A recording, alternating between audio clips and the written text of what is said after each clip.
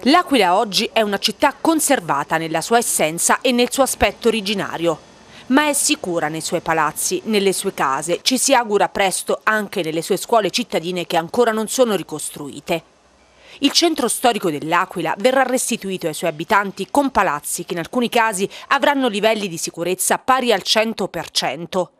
È quanto si vede analizzando alcuni dati dell'USRA relativamente ad aggregati, i più importanti per dimensioni e contributi, riconsegnati o da riconsegnare a brevissimo giro ai proprietari.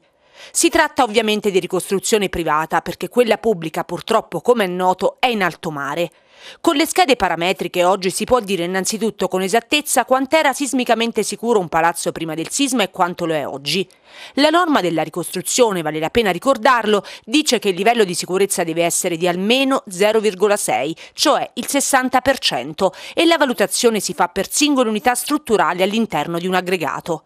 Il consorzio Altomac, ad esempio, che è uno dei più importanti nel corso stretto, di fronte al palazzo a rischio del consorzio Filomosi Guelfi, ha 5 unità strutturali. Nel presisma alcune unità avevano un livello di sicurezza pari a 0,3 o 0,4. Nel doposisma le unità hanno raggiunto 0,89, 0,91, 0,63, 0,96 e 0,71. Qui i lavori per oltre 3 milioni e mezzo di euro sono al 95%. Un altro caso importante è un aggregato stato ultimato questo che si trova a San Bernardino, un'unica unità strutturale, è del Consorzio San Giovanni da Capestrano. Questo è passato da 0,05, dunque molto insicuro, a 0,6, raggiungendo così la soglia di sicurezza. E ancora in via Castello, nel Consorzio La Castelletta, dove i lavori sono al 53%, 6 unità strutturali. Qui si è passati da alcune unità che avevano livello 0 addirittura a 0,6 o 0,7 in alcuni casi.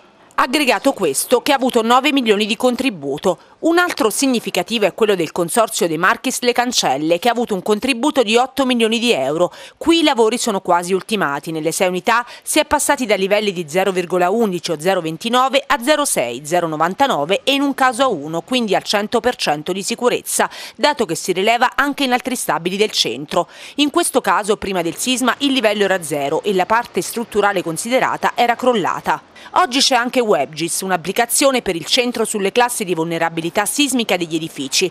Qui in città, dice Salvo Provenzano, titolare dell'USRA, c'è la prima mappatura di vulnerabilità sismica a scala cittadina.